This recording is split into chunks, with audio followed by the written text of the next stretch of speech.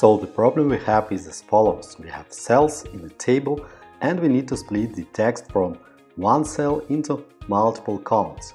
The text can be different. For example, it can be first and last name. We need to divide it into two columns or any text separated, for example, by semicolons, which you want to divide also into several columns. To do this, we need to use the split function.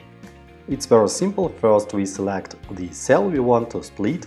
Oops, equal. Select the cell. We put a comma. Then we put quotation marks. And in the quotation marks we select the character that splits. In this situation it's a space. Put a space and close the brackets.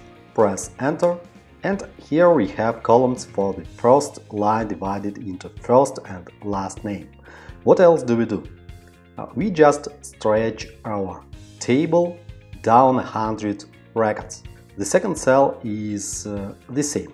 Alright, it's separated. Now what about the current cell?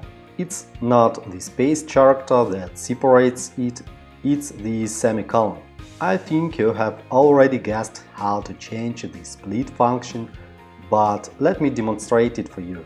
I have stretched this formula it's clear that nothing is split and in order for it to split we need to put a semicolon instead of a space. We press enter, that's it, we have split the text into columns. Very simple, good luck and have a nice day!